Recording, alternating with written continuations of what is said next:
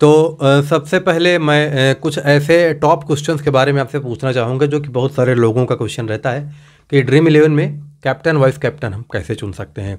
क्योंकि captain vice captain के बदौलत कैप्टन वाइस कैप्टन के बेसिस पर ही रैंक वन ला सकते हैं। कैप्टन वाइस कैप्टन ही बोला जाए तो भाई सर्वे सर्वा होता है विन विनर्स का। तो कैप्टन वाइस कैप्टन को कैसे चुनना चाहिए? कौन सी चीज़ों को उसमें ध्यान देना चाहिए? क्या उसमें माइंड प्लान स्ट्रेटजी या तो ट्रिक्स लगती हैं जिनमें से लोग रैंक वन ला लेते हैं? तो जैसे कि आपने बहुत बार विन किया है आप तीन से चार सालों से ड्रीम इलेवन में काफ़ी अच्छा पैसे अर्न कर रहे हैं। तो क्या आप सजेशन देना चाहेंगे कि कैप्टन वाइस कैप्टन को चूज़ करने के लिए कौन कौन सी चीज़ों को ध्यान में रखना चाहिए?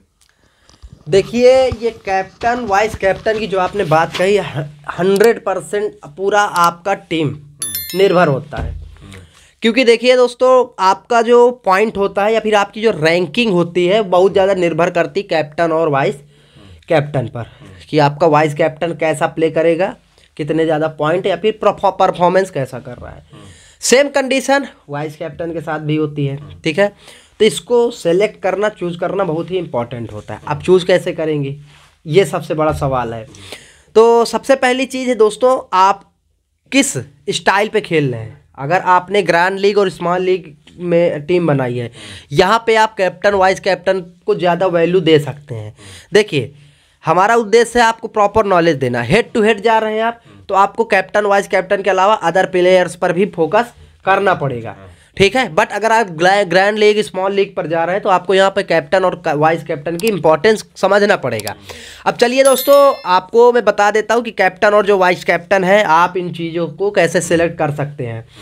देखिए दोस्तों, मैंने आपको जैसा बताया, आपका जो बड़ा रैंकिंग होता है, आपको जो रैंकिंग दिलाता है, वो वाइस कैप्टन और कैप्टन होता है।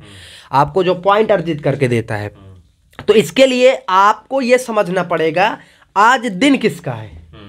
यहाँ पे कोई सट्टेबाजी की बात नहीं कर रहा हूँ या फिर दिन किसका है? यानी कि पिच कंडीशन कैसा है? ग्राउंड कैसा है? यानी कि अगर ग्राउंड छोटा है, समझिए आप, अगर ग्राउंड छोटा है, सपाट पिच है, किसको मदद मिलेगी? बैट्समैन को। बॉलर के हाथ में कुछ नहीं होगा। तो हम किसको कैप्टन और वाइस कैप्टन सेलेक्ट करेंगे? कोशिश हमारी क्या होगी?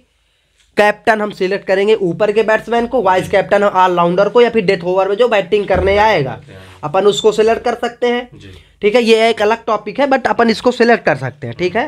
कि डेथ ओवर के बैट बैट्समैन को कैप्टन बनाए या फिर ओपन बैट्समैन को। ये अलग टॉपिक है इस पर अलग वीडियो बना देंगे। बट ओवरऑल आप जब ग्राउंड की पिच की कंडीशन अगर ग्राउंड लंबा है बड़ा ग्राउंड है पिच सपाट है घास नहीं है बॉलर को मदद नहीं मिलती है तो आप बैट्समैन के साथ जा सकते हैं।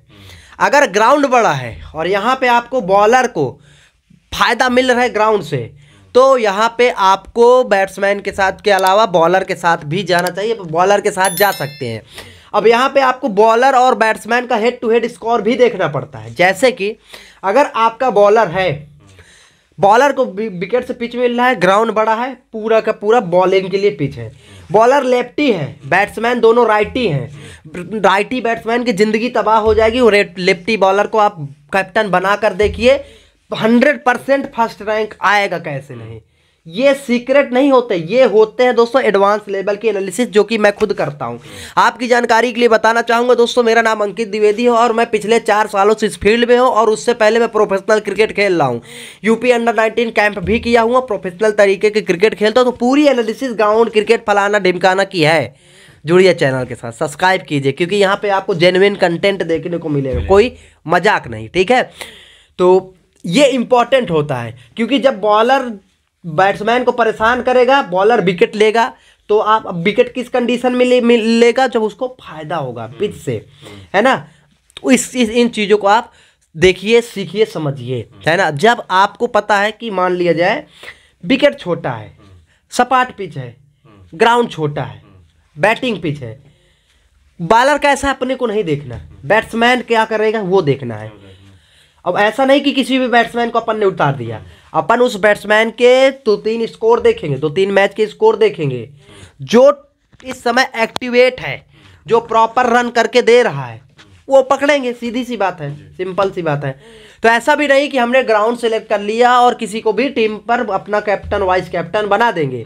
अगर आपने ground proper batting pitch bowling pitch समझा तो ये भी देखना पड़ेगा कि पिछले दो तीन सीरीज़ में दो तीन मैचेस में कौन प्रॉपर तरीके से रन करके परफॉर्म करके दे रहा है। ये आपके लिए इंपॉर्टेंट होता है है ना? तो इन चीज़ों को देखिए एनालिसिस से ही होगी। सट्टा, जुआ, निपोड़ा नहीं होता है। इंपॉर्टेंट यहाँ आपका एनालिसिस होता है नॉलेज होती है। इस पर वर्क वर्क करेंगे। तो आप आपकी भी फ़र्स्ट रैंक आएगी। हम लोग तो भैया इसी तरीके से करते हैं। हम लोग कहीं पे जाके पूजा पाठ तो करते नहीं हैं है ना? हाँ तो एनालिसिस कीजिए नहीं आ रहा है समझ में कमेंट कीजिए।